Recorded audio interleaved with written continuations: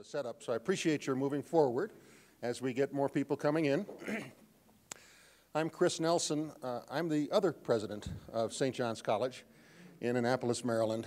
I actually received my, there it is, mic's going on nicely. I received my degree from St. John's in Santa Fe, so it's very nice to be home. Uh, I have the privilege of just being the chair, so you won't be hearing any more words from me other than the introduction of our two speakers today, and then I'll, uh, I'll stop us when we need to stop. uh, two of us, uh, Daniel DeNicola, DeNicola. Daniel DeNicola, who's a professor of philosophy at Gettysburg College, will speak first on learning to flourish, a philosophical exploration of liberal education, followed by Rex Welshon, the associate dean of the College of Letters, Arts, and Sciences, uh, and professor of philosophy at the University of Colorado. Mr. Di, DeNicola. Thank you, Chris. Good afternoon. Uh, this paper is essentially a distillation of a portion of my recent book that has the same title. And I hesitated about that because it's frankly a risky thing to do when you're contemplating this as chapters become paragraphs, given the time constraints, of course, one tends to present conclusions fully and to truncate the arguments, and the result can seem either like you're making pronouncements from on high, or worse, that you're offering intellectual bumper stickers that trivialize, the complexity of the issues. But I did yield to that concern, and I did in part because uh, it seems quite appropriate for the con conference, not only because Judging from sales of the book, it's unlikely you've read these ideas. Um, not only because it has a serious discussion of St. John's College, but primarily because it flat out addresses directly the central question of the conference, which is what's the purpose of a liberal education? And it's not exactly as appears in the book, because from lecturing about these ideas on other campuses, I have, however, learned much that's going to shape these comments. Um, I believe that it is a mistake to present liberal education as a Platonic ideal, as an archetype of education that is defined essentially by specific curricular content, whether that content is conceived of as works, authors, as a list of essential cultural literacy, or whether it's conceived of as subjects or component disciplines. Neither do I think it's defined by pedagogical methods or distinctive techniques, nor even by institutional type. All these, in fact, have morphed through history in response to intellectual, social, cultural, and technological changes. And so to elevate some particular iteration of liberal education as the ideal is to fail to enjoy the historicity of liberal education, and it's to misunderstand and misdirect both our philosophical and our educational tasks. Rather, what I've proposed is that liberal education should be understood as a tradition of educational theory and practice, not in the sense of a hoary set of inherited rituals that we must preserve, but as a vital and still evolving tradition in the MacIntyre sense. What distinguishes this tradition from others is its supreme aim. The aim, I believe, the purpose of liberal education is the development of a compelling conception of a flourishing life and the cultivation of such a life. In short, liberal education is about the promotion of flourishing lives, and that distinguishes it from other forms of education. The breadth that we commonly associate with liberal education is best understood as a kind of holism, as the sweep of its normative concern, the activity of living as a human being, and the view of one's life as a whole. Flourishing, I think, has both subjective and objective markers. I would identify the subjective markers as a general satisfaction with one's life as it is, and an identification with that life. The objective markers include the possession of capabilities and goods that conduce to and extend those subjective markers. So, flourishing requires also the ability to function with excellence and efficiency in the world and to enjoy the experience of intrinsic value. The account I'm developing is clearly a eudaimonistic account developed within an Aristotelian tradition. But I do not wish to carry all of Aristotle's baggage. Critics of Aristotelianism might claim that I'm smuggling in the notion of the good life, seen plausibly as an aristocratic, hegemonic, sexist, and racist view of what is best. A prescriptive vision that arrogantly assumes the moral and intellectual authority of educators and the righteousness of their efforts. And I reject these misunderstandings of my meaning. I do not mean that developing a conception of the flourishing life requires the apprehension of a pre existing ideal, nor do I imply that there is a single universal vision of such a life. This goal is an individual achievement, hard won, though it affects and is influenced by others. And the result is a diversity, even a profusion of visions. Moreover, the hard won understanding of flourishing one achieves will likely evolve with life's passages and later learning. In short, it continues as an infinite task. It is another deep misconception to assume that the quest for a flourishing life, which I identify as the wellspring of liberal education, is an elitist pursuit, that it arises only in situations of privilege and comfort. In fact, profound concern for one's life and human prospects may arise in reflective solitude, amidst crippling poverty, in despair when resplendent ideals of the good life have been shattered, even after great horror. On the other hand, I do accept the Aristotelian principle that a flourishing life implies sources, supports, arenas, and forms of engagement that are communal. Moreover, as he noted, learning to flourish will not guarantee a flourishing life. One's success is contingent on luck and other circumstantial factors beyond human control. Nonetheless, adopting such a name will, in fact, govern many aspects of our experience, direct our actions, thereby shape our life and identity, and in short, it's the best game going. Taking seriously the hope of a flourishing life leads immediately to questions about the components of such a life and the best ways to prepare for and cultivate it. And grappling with those large questions leads to other very profound questions. What is the human condition? What are our prospects? Who am I? Who might I become? What's my relationship to others? What can I do in the world? So, understanding how we might flourish requires knowledge of what is, of what might be, and of what ought to be theorists of liberal education navigating this network of profound questions from different vantage points have developed what I'm calling paradigms. These are comprehensive visions, and they set polarities in the philosophy of education. As they are elaborated, they establish subsidiary aims. They generate forms of educational discourse, inspire curricula, and they guide pedagogy.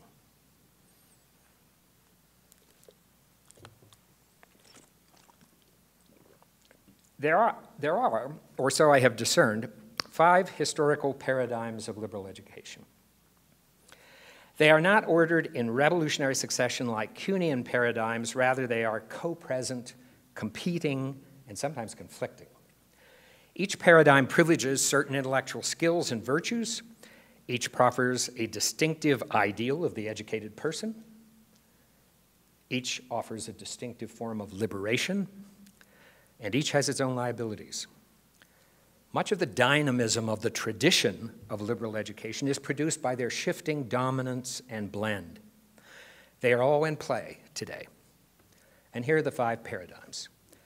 Liberal education is for the transmission of culture, for the absorption of the human experience as encoded in texts. Two, liberal education is for self actualization, for the identification, actualization, or creation of a normative self. Three, liberal education is for understanding the world, for comprehending the, the facts and the forces that shape our lives. Four, liberal education is for engagement with the world, for active, normative, and effective engagement. And five, liberal education is for the acquisition of the skills of learning and the disposition to use them. After a brief characterization of each, I want to describe their relationships and conclude by how this analysis might clarify our tasks as educators. So let me start with the transmission of culture model, one familiar to good St. John's students. Culture is not tra transmitted genetically. It can be preserved across generations only through learning. This is a great inconvenience. But both cultural content and its transmission were greatly enhanced by the creation of texts, that is, durable objects that encode human experience in symbol systems. The culture paradigm harbors the wisdom that absorbing this precious legacy is the path to a flourishing life, perhaps even a constitutive component of it.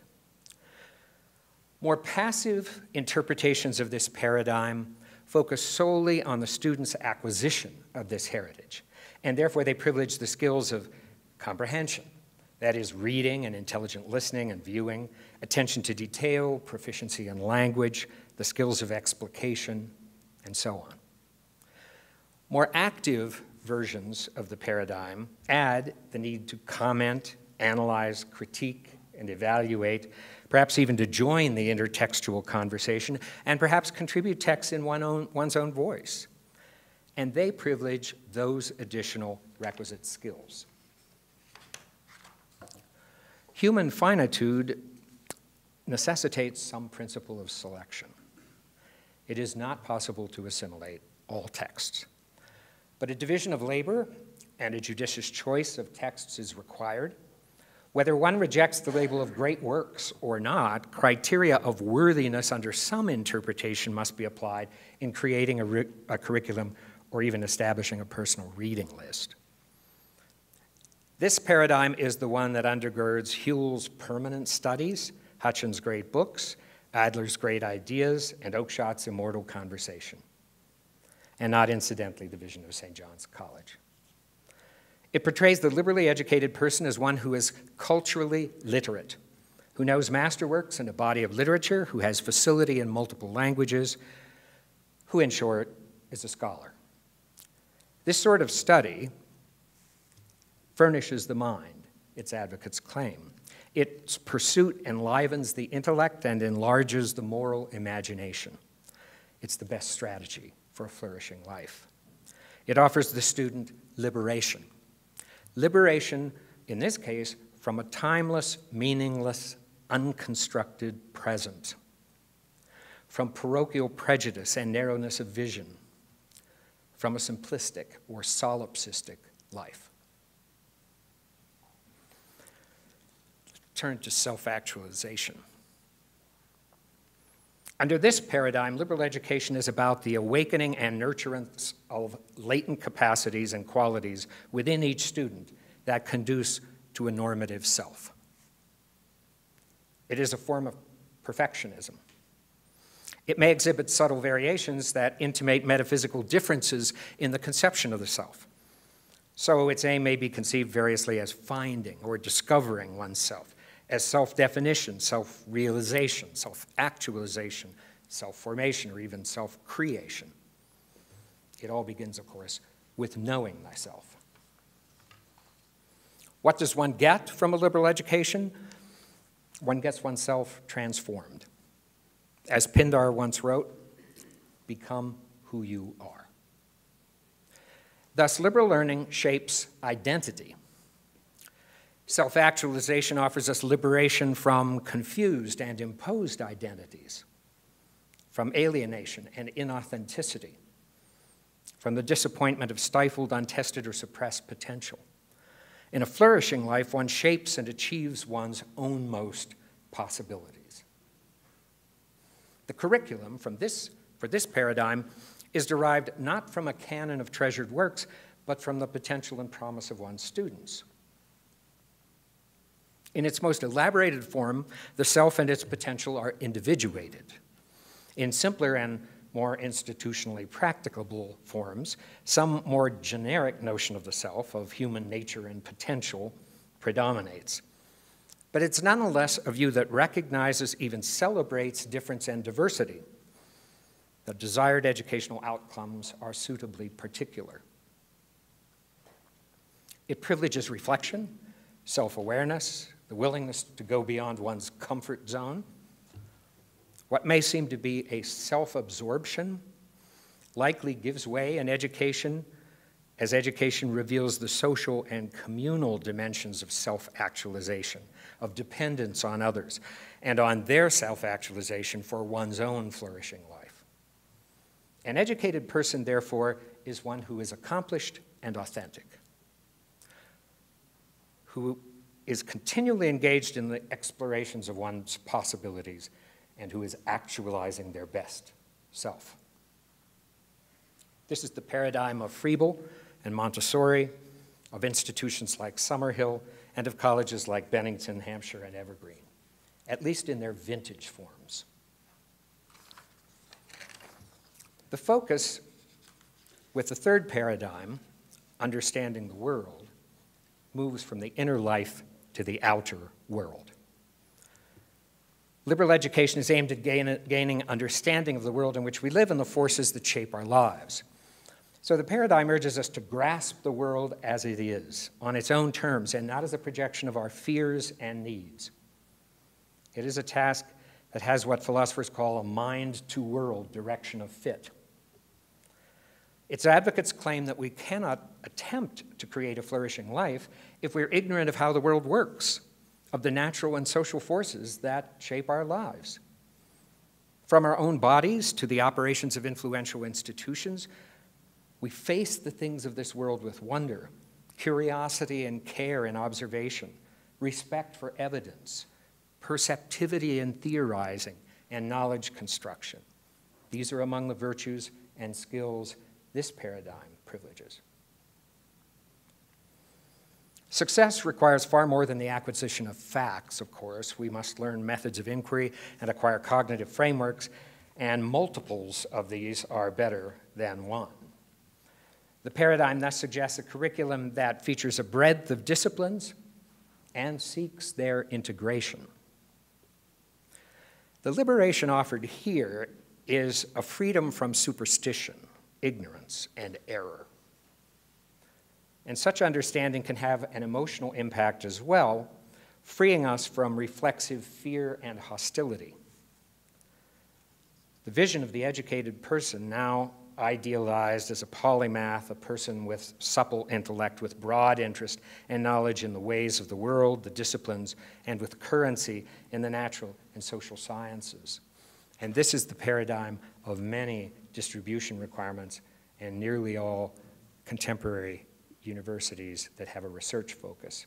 I might say they're active and passive versions of this too. The passive versions deal with the acquisition of current knowledge, and the active versions deal with becoming a researcher, contributing to the understanding of the world.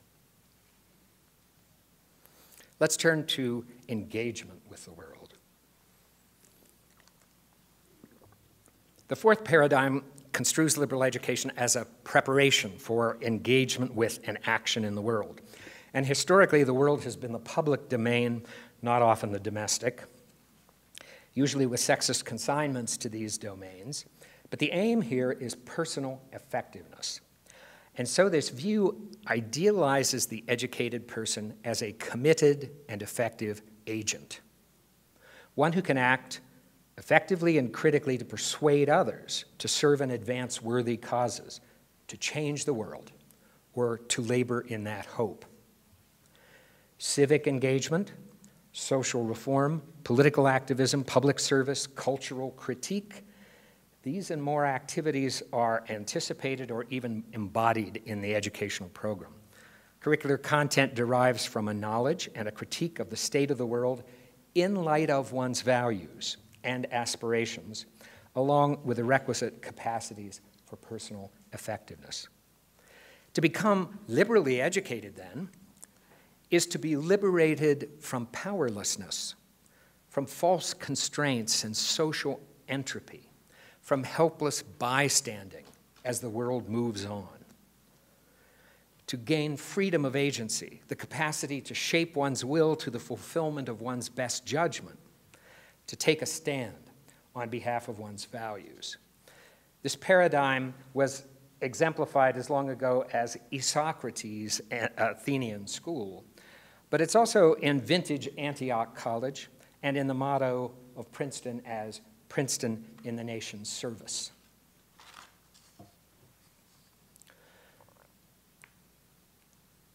Acquiring the skills of learning. The last paradigm emphasizes the arts of the liberal arts, the artes of artes liberalis, or the techni of techni eleutheriae.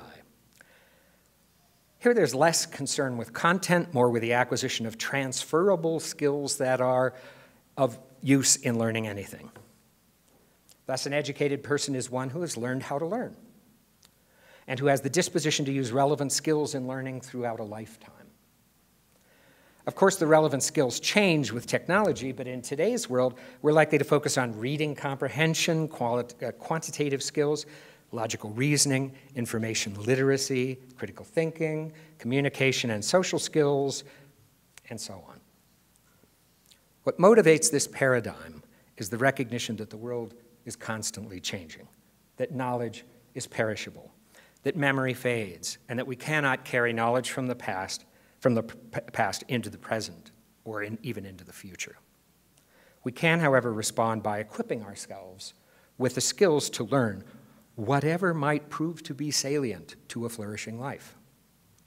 Acquisition of these skills holds out the promise of liberation from becoming outmoded, from cognitive entropy, from the ignorance and uselessness that may follow. The student gains the freedom of self directed learning. Now, I hope I've conveyed these paradigms as quite distinct yet comprehensive and coherent visions of liberal education. Differing in the skills and virtues they elevate, the locus of the curriculum, that is where they draw the curriculum from, their ideals of the educated person, and the form of liberation they offer. Each is attractive, even compelling, but thin.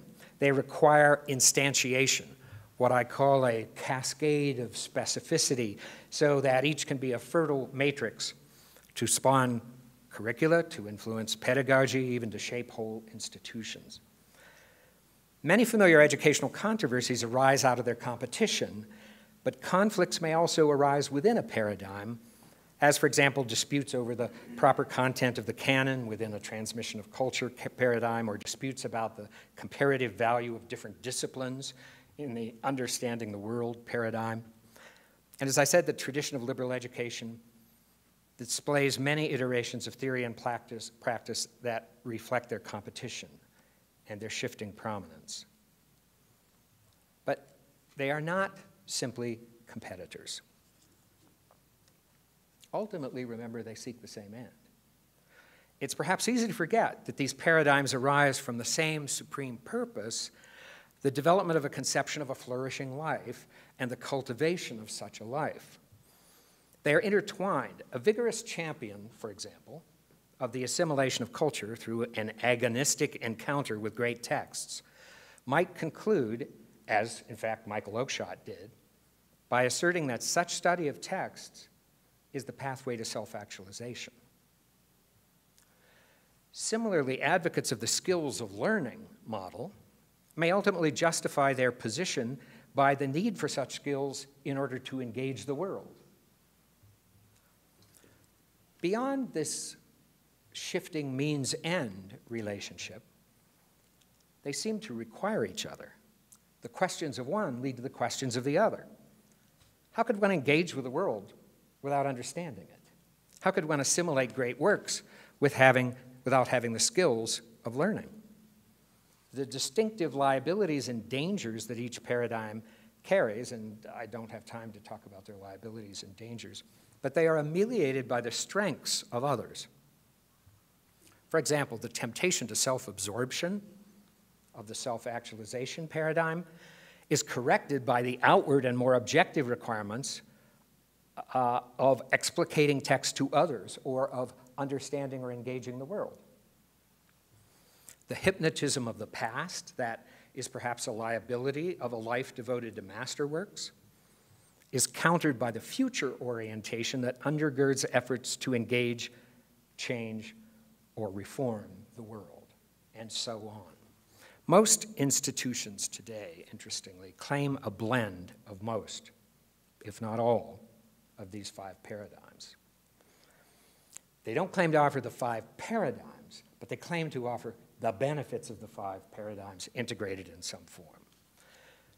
Finally, from this account, I want to claim that liberal education is a deeply moral enterprise, not merely an intellectual one. First, the process of liberal education must meet ethical criteria, such as avoiding indoctrination, valuing the student's integrity. Second, the supreme aim, a flourishing life, incorporates moral virtues and values. A flourishing life is, however, larger in scope than a moral life. It incorporates more values than moral values, but it does incorporate them. Furthermore, it is indirectly moral in, this, in that its success in its subsidiary aims are relevant to and often essential for moral activity and agency under vir virtually every conception of morality that you can imagine. Expanding the moral imagination, knowing how the world works, seeing the larger picture, developing one's capacities, knowing how to learn, having the skills of worldly engagement, how to balance commitment and humility. Surely these are components of nearly every version of ethics. An emphasis on objectives and outcomes is meaningful only when our activities, however, remain tethered to our aim.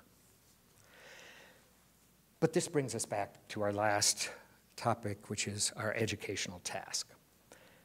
Our task is not to preserve faithfully a specific ideal of education, it is to engage vigorously in the evolution of a vital tradition. And I want to, want to mention in that regard two additional ways in which I think very important ways that our task connects with moral education. Liberal education reduces the vulnerability of the virtuous. The fragility of goodness remains in educated goodness. But that fragility is better understood and better protected from harm and error. And secondly, an attempt to take moral issues seriously, any attempt to take moral issues seriously, to go beyond merely posing moral questions, but to seek to understand them, inevitably leads to the pursuit or application of liberal learning under these paradigms. Each of us, each institution, each academic department, each faculty carries the responsibility of regularly reinterpreting our vision of liberal education as part of this tradition, of thinking through, in light of our world and our students, the appropriate blend of these paradigms and the cascade of specificity that they require in practice. Given our intellectual, socioeconomic, and technological context, what must our students learn in order to develop a conception of the flourishing life and to cultivate such a life. How better to celebrate 50 years of distinguished liberal education than with a lively conference that takes up that task? Educational quality for liberal education is determined by the effectiveness of the connection between what we teach and the standard of one's life as a whole. This perpetual task itself reflects, and indeed may embody, the process of crafting and cultivating a flourishing life. Thank you.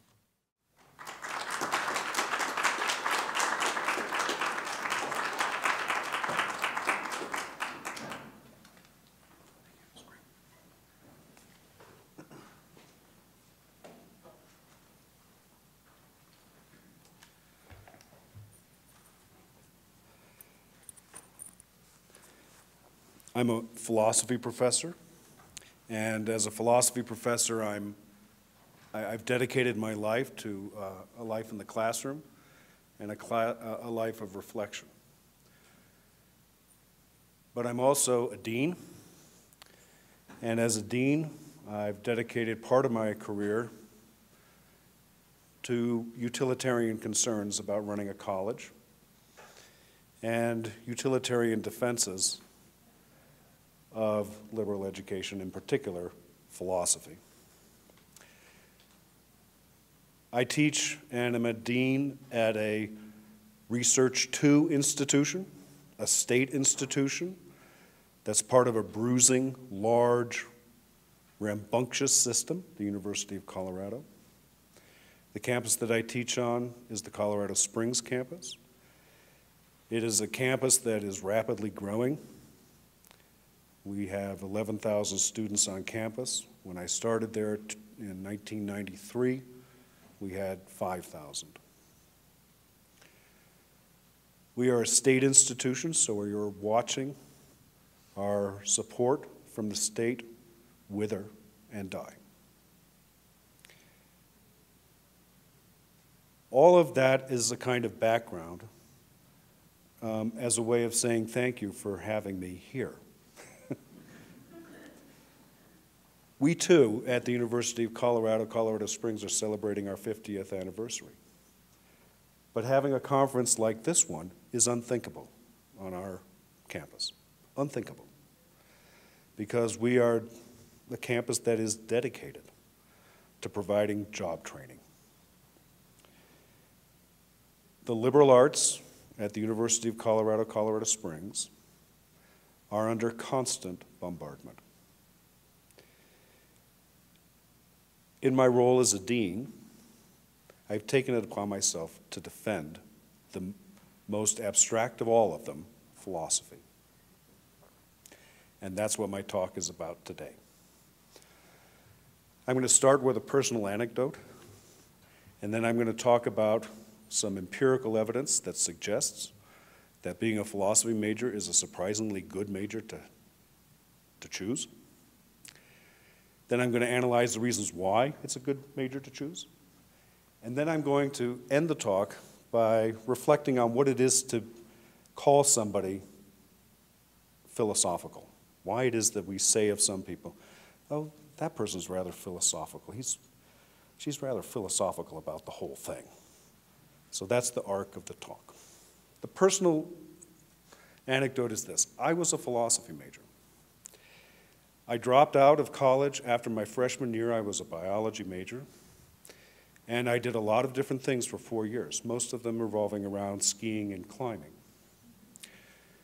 And when I went back, I went back as a philosophy major, much to the disappointment of my parents. When I graduated, my parents attended graduation. And they met one of my favorite professors, Don Crosby, who was a Whitehead scholar, among many other things. My dad immediately asked him, well, we're relieved that he finally graduated, um, but philosophy? What on earth is he going to do with that? And Crosby looked at my dad and said, well, among other things, Mr. Welshon, he'll be better off for having been a philosophy major. And that set my dad off. he just said, Better off? How can that be? He can't make any money with a philosophy degree. And Professor Crosby then said, Well, sir, that just shows that there's a distinction between making money and being better off. To this day, my dad remembers that episode. So that's the personal anecdote. We all know that uh, being a philosophy major puts you on the royal road to having a career as a carpenter, a taxi driver, or as a bartender. Now, I happen to like people who do those things a lot, and I've known a few who have made really good livings at those careers. But it's unlikely that they alone are responsible for the surprisingly high mid career earnings of philosophy majors. A recent survey from a couple of years ago ranked philosophy majors as the 15th most remunerative majors of 50 that were in the survey. These are average mid-career earnings, not coming out immediately from college, but in mid-career, philosophy majors do surprisingly well. 15 years down the road, they're on a par with business majors for average earnings. Now, it's true that students who do philosophy rank below the usual suspects, such as engineering and physics. But for information management degrees, international relations degrees, we're on about the same level, about $85,000 a year. And we're ahead of all other business degrees. All nursing degrees, all natural science degrees other than physics, all social science degrees other than economics, all health science degrees, all arts and humanities degrees, and all criminal justice degrees. That's what I want to focus on. Why philosophy majors do so well. It's likely that part of the explanation is that the population of philosophy students is a self-selecting set of unusually smart, usually somewhat obsessive, and attractively quirky students.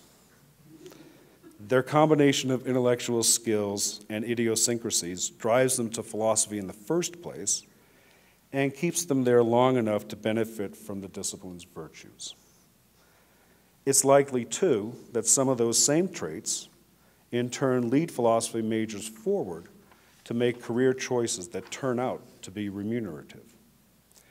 And indeed, it's well known that philosophy majors are well represented both in law and medicine which historically at least have been among the highest careers out there.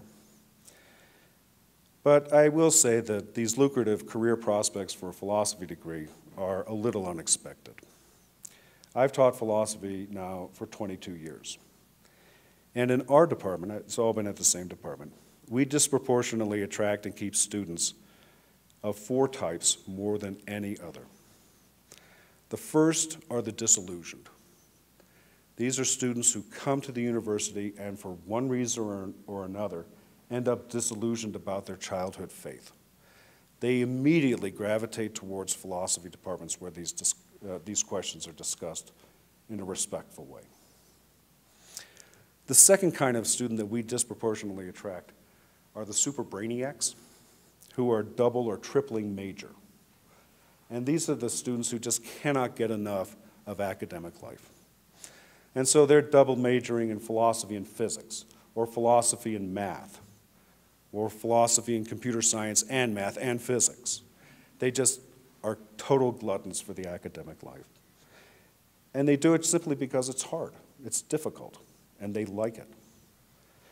Third, we attract a lot of political and social radicals who find in philosophy an intellectual heft to buttress their activist commitments. And finally, we attract a lot of unlost wanderers. And these are the students who are bored with their other majors, the things that they've tried. They have absolutely no interest in conforming to anyone or anything. And they find in philosophy departments a group of other similar misfits. Now, there are other kinds of students who end up as philosophy majors. And sometimes that depends on the department's affiliation with other campus programs. At our institution, for example, uh, in the last few years, our department has attracted a fair number of psychology double majors because the two departments co-host an interdisciplinary center on cognitive science. But now look, consider the, uh, the members of this class. You'll notice that three of the four of them are demonstrably not career minded. And that the only one that is plausibly career minded, the Brainiac double or triple major, is only indirectly career minded. What they really want is just to be working hard. Yet when these students are fed into the crucible of philosophical training, something remarkable emerges. Graduates whose training is about as far removed from job prep as can be imagined but a training that nevertheless provides them a readily transferable skill set, which makes them promotable in whatever job they land in. So, what is it about a philosophy degree that gives you these transferable skills? Obviously, and first, philosophical training is in the great problems of philosophy the nature of truth, the nature of beauty, the categories of existence, the nature of knowledge, justice, the moral good, and logic. Knowing how to think about these perennial issues helps philosophy students understand others and the world better than most. For among other things, philosophy graduates are quick studies at identifying others' core beliefs, and they know how difficult knowledge acquisition really is. And they are therefore, as a result, more circumspect than others who may tend to be bombastic. But now I want to claim that this knowledge supervenes on something much more important. And what's more, much more important is the dual ability to read and think well. The simple truth is that reading and thinking well are uncommon. They are scarce commodities, and they're goods for employers. Philosophy trains students how to cultivate these skills. Now, the importance of this training cannot be overstated. Last week I was in LA and I was on a panel with three very high powered business people the president of a video game company, the co executive of DreamWorks Studios, and the executive of OMD America.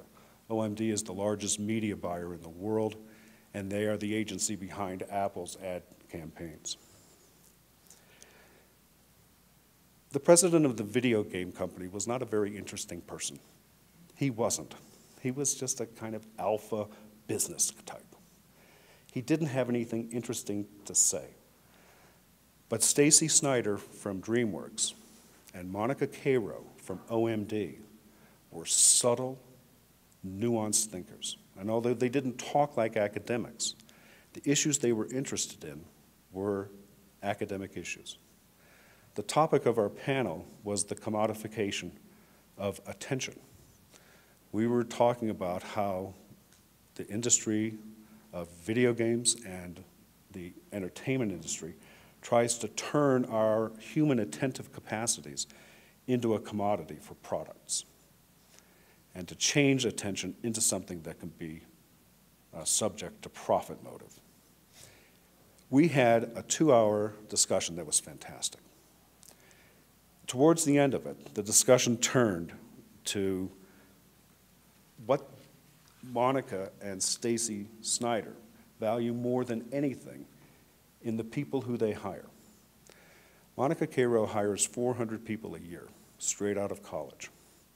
Stacey Snider in DreamWorks hires 300 a year, straight out of college. What they both said was that they wanted somebody who has an opinion and can make judgments, who can produce a dispassionate argument in support of their judgments, and who can speak and write clearly and directly. Anybody who teaches in the humanities, anybody who teaches in the arts, anybody who teaches philosophy, would like to have a video of that moment and show it to our students because they believe that they're not being served well by being taught how to argue in public. They believe that what they require most is a particular set of skills that they can take to the job. But here are two of the industry's most powerful executives saying what they value most is somebody who can produce an argument on demand. That's a skill that we all, and philosophy in particular, cultivate. In fact, I'm prepared to defend the claim that no other major does this training as directly or as relentlessly as philosophy does. For philosophers work professionally with logic, we're professional critics of language, and we're trained to critically assess evidence across any domain we encounter. Such training is provided in most courses indirectly, but in certain courses is provided directly in logic, critical thinking, philosophy of language, theory of knowledge, and philosophy of science. The net result of this training is a kind of cross training for the intellect. made up of very careful reading, clear writing, and careful and critical thinking. Because philosophy majors can both see the big picture and understand the most precise details, because they can question assumptions, analyze arguments, and occupy and understand alternative perspectives without getting lost in them, they always tend to stand out. And because their training is in how to think well both in and outside of the box, they're unusually nimble in dynamic environments in which complex decisions have to be made. And because they've been trained to think well and write clearly about basic questions, philosophy majors are well prepared for talking and working with other humanities types, other scientists, mathematicians, computer scientists, lawyers, marketers, journalists, physicians, policymakers, in fact, anybody who has to think for a living. Not surprisingly, business recognizes the benefits that philosophy majors bring to their enterprises. There have been articles recently in Business Week, Good The Guardian, the London Times, the Times Education Supplement, and the New York Times, all extolling the benefit of being a philosophy major in business. What these articles consistently note is that while businesses have more than enough experts working hard on difficult specific problems, they also reliably need individuals who can connect the dots, employees who can extract knowledge from a specialist's expert domain without getting trapped in the expert's silo. For that kind of training, a liberal education in general and a philo philosophic training is tailor-made. But it's not just businesses that benefit when philosophy majors are hired. Graduate programs and professional programs alike welcome philosophy majors because they know that typically they will do very well in their program. Now, one measure of this readiness is the performance of students on the so-called entrance exams. This is certainly not the best measure, but it is a measure. If the following isn't already known to this audience, it should be. Philosophy majors consistently score highest of all disciplines on both the GREs and the LSAT's verbal reasoning and analytic reasoning writing skills. And they score highest of all non-engineering or natural science majors on the quantitative reasoning sections as well. So that's my data-driven analytic analysis of why philosophy students so well. I'd like to turn next to talking about what it means to be philosophical.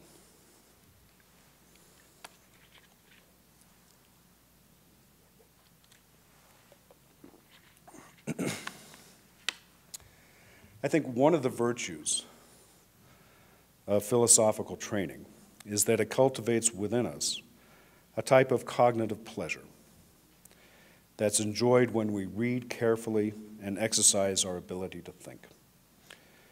This pleasure, and it's a pleasure that's heavily cognitive, is one of the many consequences of a training that insists on self disciplining the imagination. The imagination, if it's left free to roam on its own, will inevitably fall down one rabbit hole after another, and often with disastrous consequences. If you subject that imagination to some rigorous training, the hope is that you can stay out of all of those rabbit holes. I think that Alfred North Whitehead put this point succinctly. He said that freedom and discipline are the two essentials of education. He said this in his book from 1926 called The Aims of Education. The former, freedom, is necessary because without it, education reduces to tedious indoctrination. The latter, discipline, is necessary because with it, the cognitive power required for the adventure of life can be achieved. When we willingly, and sometimes it has to be admitted painfully, subject our free roaming imagination to the rigor and precision of philosophy, then so long as that training has been well designed, and is executed with care in the classroom. The product is a human mind that has, as Whitehead puts it, an intimate sense for the power, beauty, and structure of ideas. And from that cognitive dexterity emerges a unique cognitive pleasure, a delight that we take in the way ideas fit together and fall apart, a delight in the unexpected implications that ideas sometimes have, and in the realization that our cognitive powers are actually greater than we might ever have imagined. Having achieved some level of cognitive competence, a properly trained mind is progressively liberated from the blinders that others want us to wear and the blinders that we all too often put on ourselves. For the curiosity and imagination characteristic of the Aristotelian human being, having been disciplined by philosophical training, those two characteristics, curiosity and imagination, are now free to wander where the trained individual wants them to go. And she may be fully competent, fully confident that her habituated cognitive skillfulness will lead either to a positive outcome or to an opportunity for further reflection and deliberation. Even if reflection and deliberation is the consequence because something awful has happened, it is for the well trained mind not without consolation. For the reflection and deliberation prompted by a bad outcome is as much a cause for some, albeit different, cognitive pleasures as would have been a good outcome. I believe that it's this kind of puzzling response that marks people off as quote unquote being philosophical. We sometimes use the description to characterize people who are fatalistic, or if that goes too far, for people who are at least atypically restrained in the face of severe misfortune. But so long as we fail to acknowledge that a person who is described by that epithet might have reason not to be completely crushed by hardship, we miss a part of what it is to be philosophical, namely, to have an unquenchable capacity to be surprised and filled with wonder by the world and its inhabitants, even when their antics cause distress. I've called this cognitive power a virtue. And in fact, I think it is a virtue. But it is also something that can be a vice. And it can be a vice, this cognitive pleasure and the skill that lies behind it. It's a vice when it is unleashed as a display on the unsuspecting. I think we've all known people who are logic chopping jerks. And if you haven't met them yet, you're gonna. and that kind of display is arrogant and unpleasant.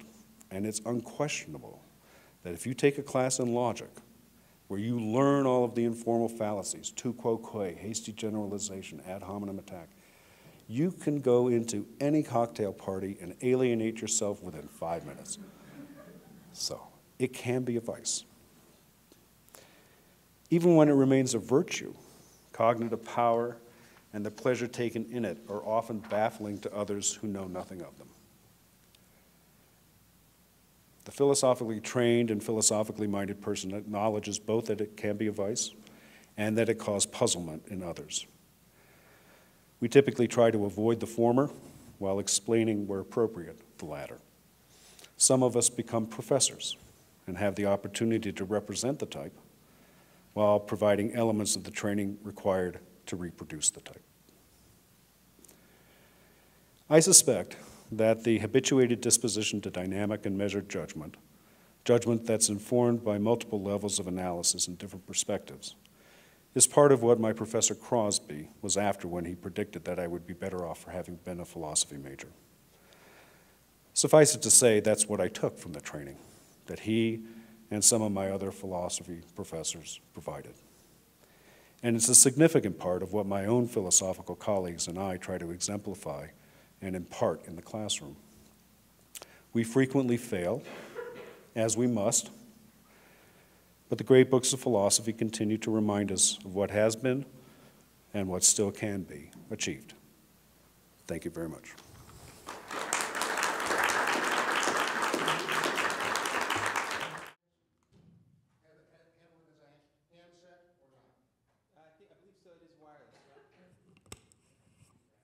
Well, let's just try and see if we get any feedback, because this might work best. Uh, Questions from the audience?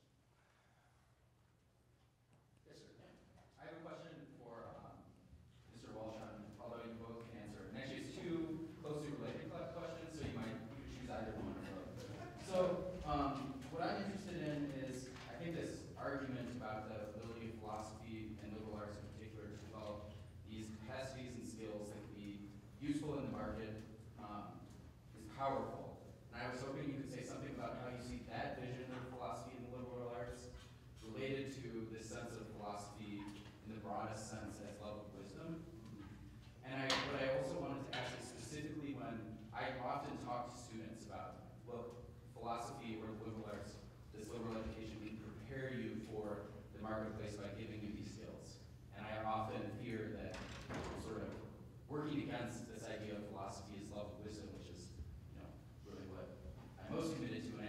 inspire in them. So I was wondering if you could maybe say a little bit too about how you talk to students about these things, or parents and students, for that matter. I'll start, but I won't finish.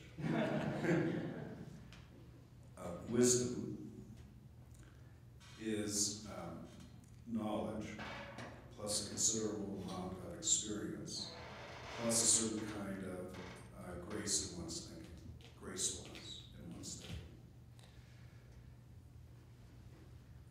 We cannot teach wisdom. I don't, I don't try to teach wisdom. I do try to s- suggest to my students that other people who are wise have things to say to us. And I try to communicate to the students what these wise people do. What we can train is the ability to think well, to read well, and to write well. And those are the things that I try to do in every one of my classes. It's hard to persuade parents that those three simple skills are going to carry them a long way. It was hard to convince my father, and it's hard to convince every parent of every philosophy major, except those who were themselves philosophy majors and who know that it's true. um, but yeah, it's very hard. But you have to be able to back it up with data, and the data are there.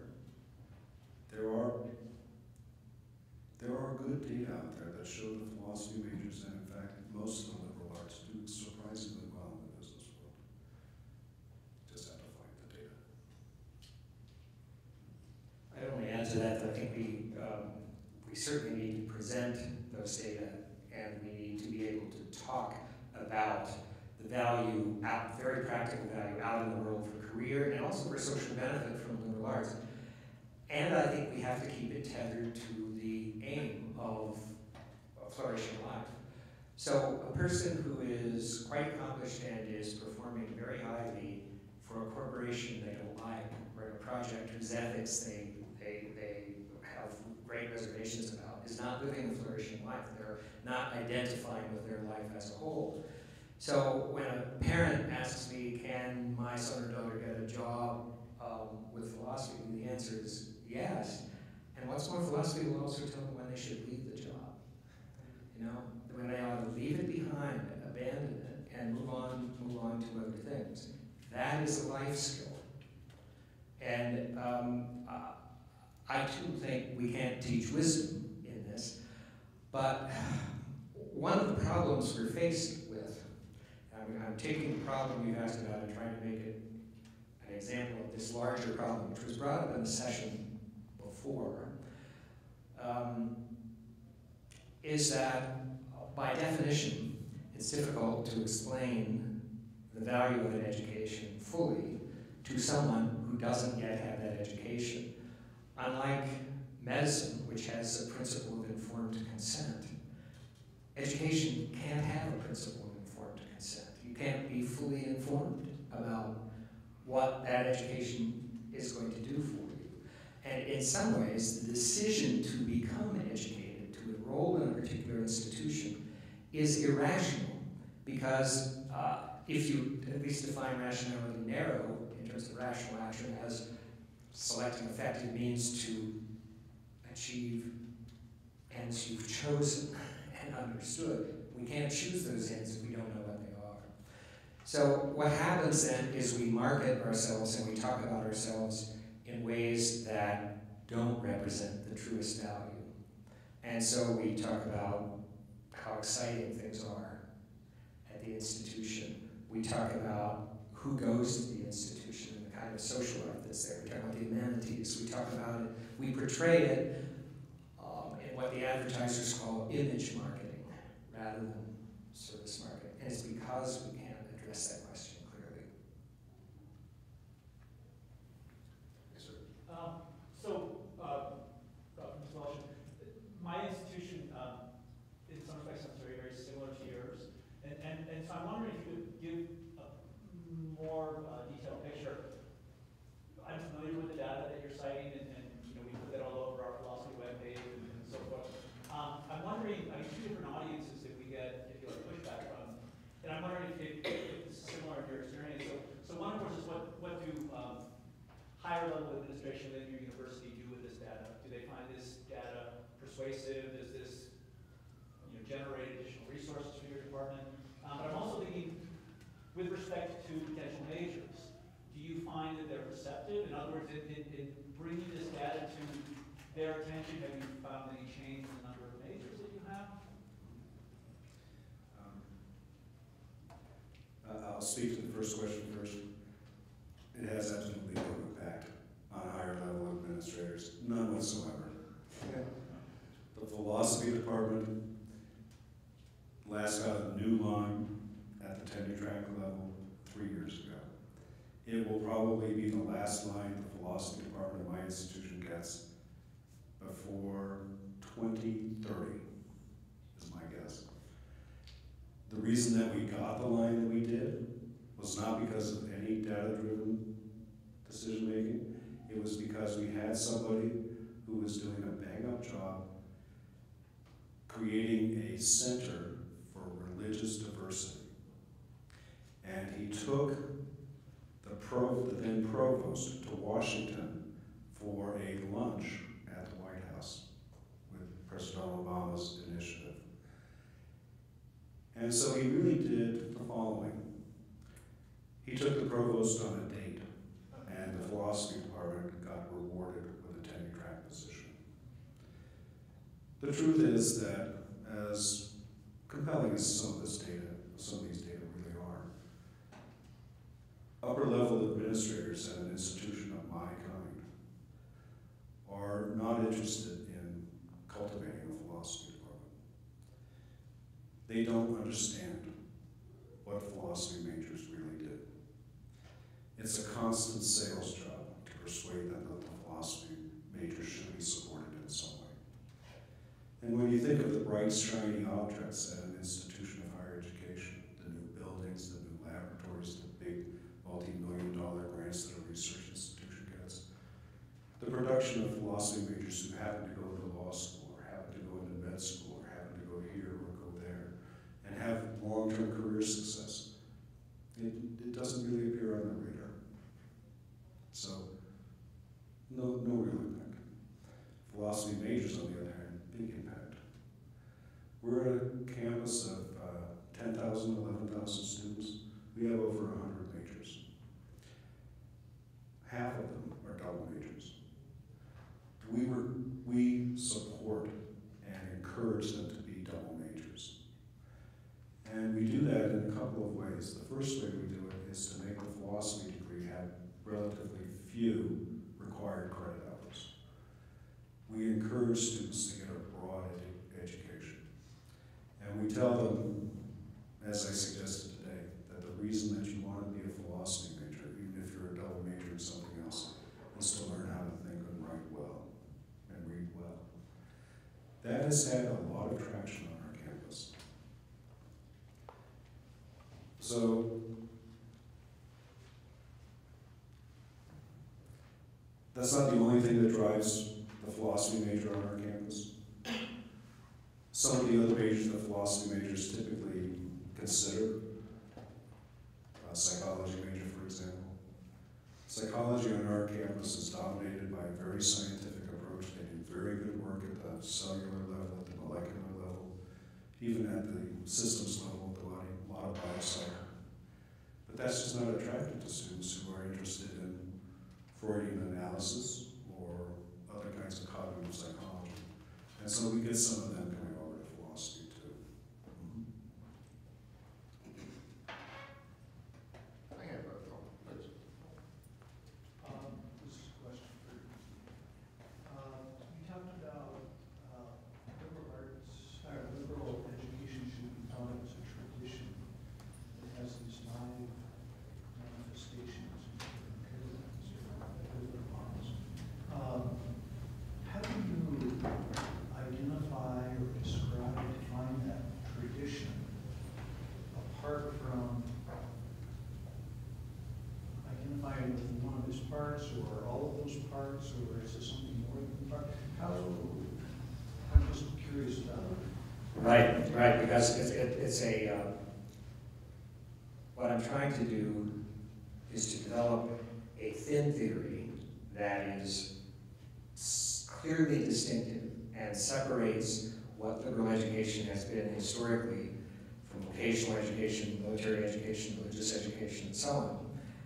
But I'm also trying to respect the situatedness of institutional practice and the ways in which these forms have morphed over the years. Anyone studying educational history gets this strong sense of continuity but great change. Um, so what I do is to say, first of all, let's call it a tradition, not an ideal, because we're not picking any, any instantiation. And by calling it a tradition, I mean to respect that history and to talk about it a, a, as a continuity. It is a tradition of educational theory and practice. Now, how does it differ from the other traditions of educational theory and practice? It has a different aim. It's defined functionally. Its aim is flourishing lives. Its aim is getting people to cultivate this notion of flourishing lives. And because you find that consistently in the background, if not explicitly, in ancient, medieval, Renaissance, um, Enlightenment writers, and in a whole range of, of colleges and universities today. So I wanted to find a function, which I think is a sort of Aristotelian way to do it. And then to say, um, but that's very broad, so it has developed these five paradigms which make it a little more accessible, and from which you can begin to talk about curricula, institutional shape, and so on. Um, if it, is, if it seems too light, too thin, um, I'm a little wary of taking it much further than that. I, I, I mean, I use several examples of the reason for doing this in, in book. I'll just mention one here that's sort of obvious. Every once in a while, you'll hear an essentialist theorist say something like, uh, you know, I can't believe those people at Brown, all, all the charge for tuition, Gettysburg for that matter. Um, those students graduate and they have never encountered Shakespeare. They've never had a course in Shakespeare. Well, when Gettysburg was founded, and if you look at its records from 1832, 1836, there was not any course in Shakespeare. There wasn't any course in anything in English. There wasn't virtually in any college in the country. There was no, certainly no American literature, my God. Um, but English literature, no. That was something you did on your, on, on your spare time. I mean, there wasn't even British history. Uh, what you took was works that were originally written in Latin and Greek, and usually you read them in the original. There was nothing to do with Latin America, nothing to do with Asia. There were five languages required, but um, they, were, they, they were European languages. It took a long time in the history of education in the United States before Shakespeare became worthy of being taught for credit in a class. But are we going to look at the period before that and say that wasn't liberal education? We just found the liberal education now. So I don't think we can do that. I think we have to keep the theory thin enough and, and, and to define it. But when you do that, it increases the burden on us to develop a viable interpretation of it. So I appreciate the, uh, thin on the theory and thick or generous on the strategies of pursuit of this idea. But how do you know when something's ruled out of being a strategy of delivering a liberal education or pursuit of the flourishing of our humans? Well, if its aim was, for instance, vocational, where it was a skill or a direct specialized um, preparation for a particular profession, the category that's being used is not one's life as a whole. The category that's being used is professional life, a career, a trade, a skill, um, whatever. So kind of, uh, any claim to deliver a liberal education and the pursuit of individual or group human flourishing that only address, say, our need to have a job, which we Right. earn a living would not count as Right. fulfilling this tradition.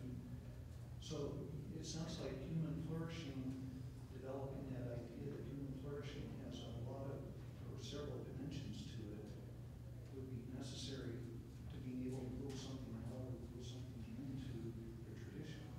Yeah, and there's the same problem with flourishing as there is with liberal education. I wanted to define flourishing clearly enough. And as I said, I believe it has subjective and objective markers, and also uh, some sort of third-party markers about personal effectiveness in the world. But I don't want to define flourishing with such specificity that I undercut the notion that flourishing life admits of different interpretations, and the issue is to work at finding a compelling interpretation that carries you forward so far, in so far forth, but not lifelong. But could I ask you, just put another spin on that, uh, and have an exercise of the imagination. What would the curriculum and the college life look like in your ideal, if it's really a kind of combination? What would you do? Well, uh, when I say, first of all, I, I think that that's all a good question, but it's also a collaborative question. And in, most contexts, you've got, you've got to have lots of different people uh, dealing with it. And it's easy, uh, I wouldn't want to do it as a blend of paradigms, right? I wouldn't want to say we're under all these thoughts, but I think you need to have, I would need to know, what does my institution look like?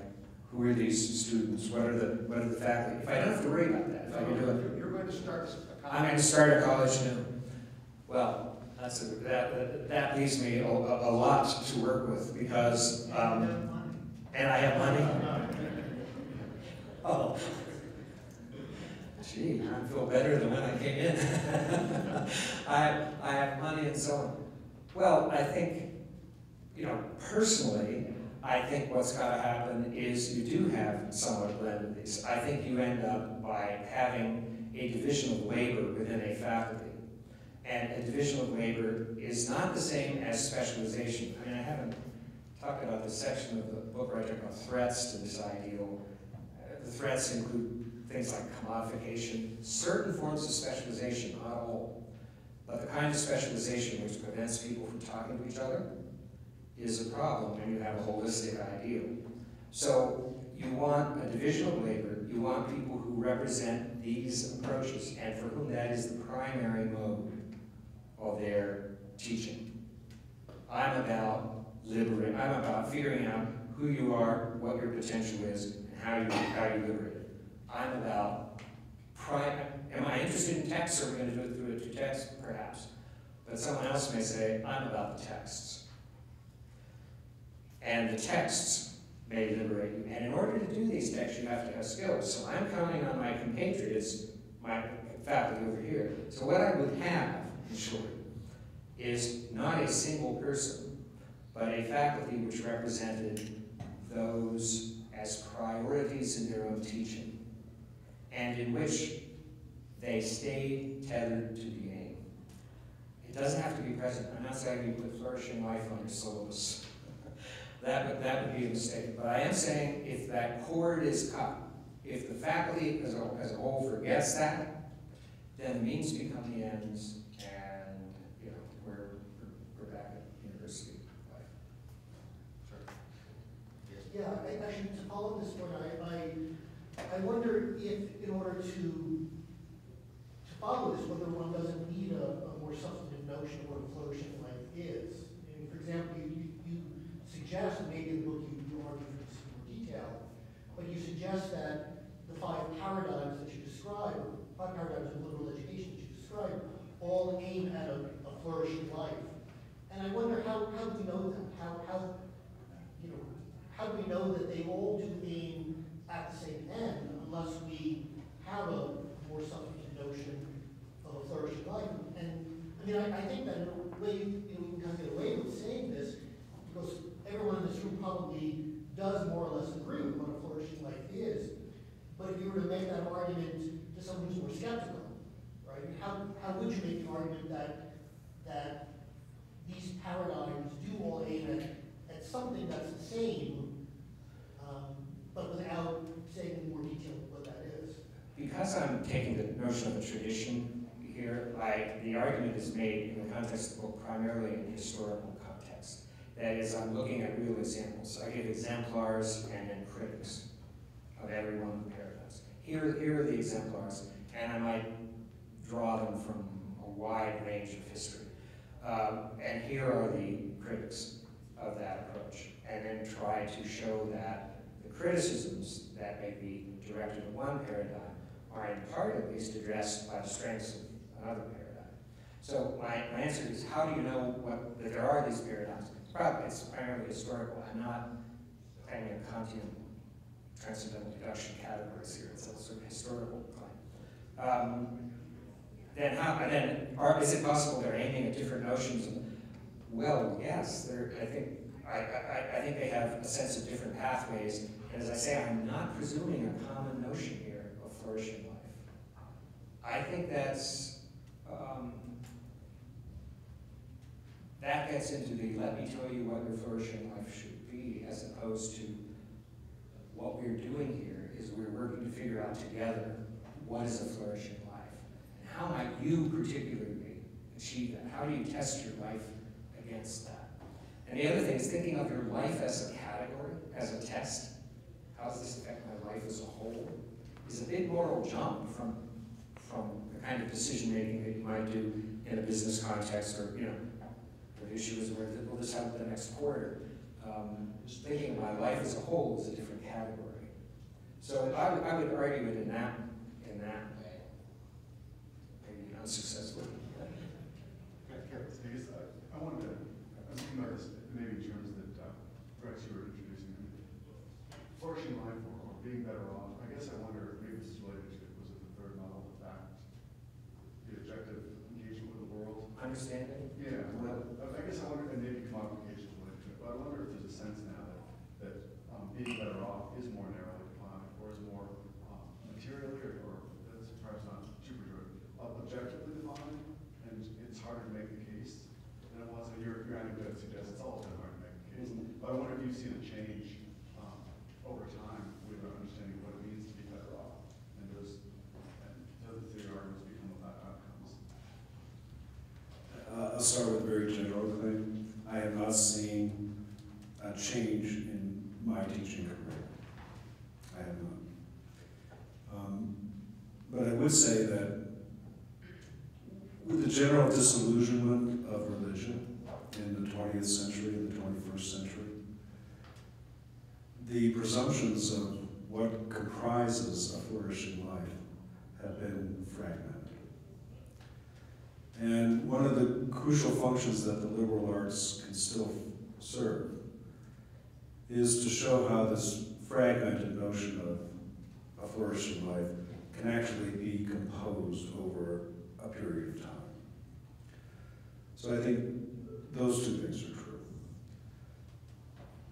The cleverness of Crosby's remark was that he knew that the phrase better off was ambiguous. And he counted on my pecuniary dad's response to take it one way, and he provided the other way. And that kind of skill, whatever kind of skill it is, seems to me a constitutive element of many flourishing lives. I can imagine that there are flourishing lives where that kind of verbal acuity is not part of a flourishing life. It's not a life that I could live, but I imagine that there are such lives. I have a hard time, you know, I'm actually willing to walk out on the ledge here. I have a hard time considering or imagining a flourishing life that is completely absent of self-reflection. A life that is uh, characterized by forward activity only without taking any even satisfaction in having accomplished a hard task.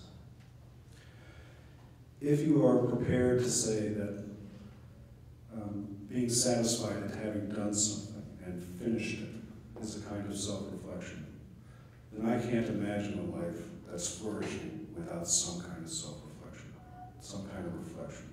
So I'd be prepared to say that reflective living is a necessary element to any flourishing life. Now, I'm preaching to the converted here.